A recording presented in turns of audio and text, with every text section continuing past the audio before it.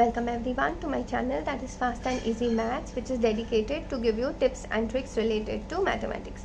So students, today we are going to solve a tricky math question where we are given as 1 upon a plus 1 upon b plus 1 upon c is equals to 7 upon 20 and we have to find the value of a plus b plus c.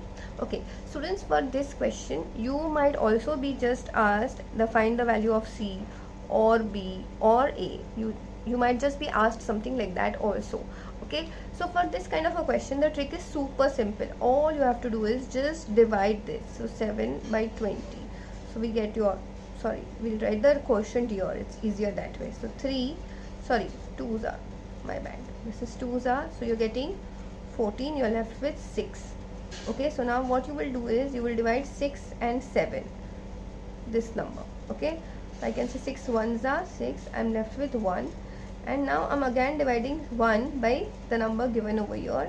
So this is 6 plus 1 6 are 6 so this is getting you a 0 so basically here I can say this is the value of A this is the value of B and this is the value of C. So the final answer for this one will be before going ahead students don't forget I'm going to put up a DIY question at the end of this video and don't forget to give a like to this video and share these videos with your friends okay? Because that really means a lot to me.